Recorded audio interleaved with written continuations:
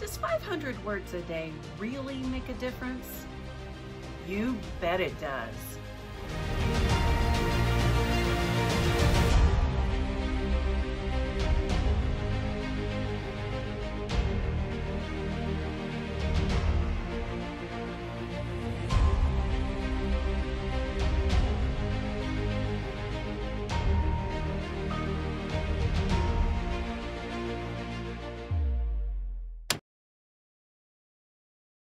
So if you've watched any of the previous videos, you already know that 500 words a day is all it takes to write a book as long as you do it day after day until you finish the draft.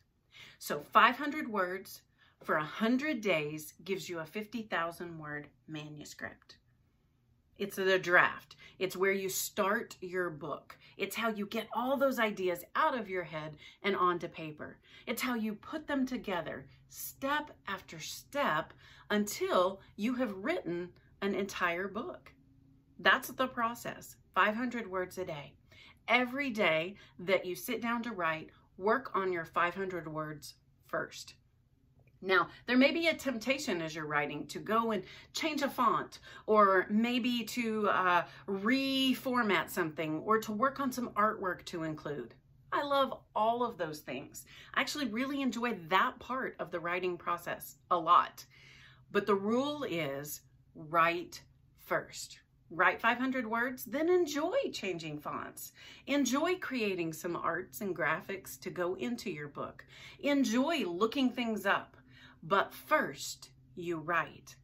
And during writing time, all you are doing is putting words into the document, whether it's through typing or through um, dictation, however it is that you choose to write your book, that doesn't really matter. But writing time is for writing. It's for getting the words into the document.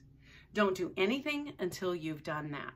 Don't research. Don't go look up that fun fact on the internet. Don't um, get distracted checking out information in books. Don't do anything else. For your writing time, all you do is write. Protect that time, and pretty soon, you too are going to have a book. So that's the rule.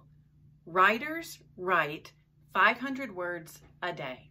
If you want to write more, feel free to do that. You can always write more. If you have extra time, extra energy, or just an extra inclination to write, ride that because some days are not going to be that easy. So whenever it is, enjoy that, but always write first.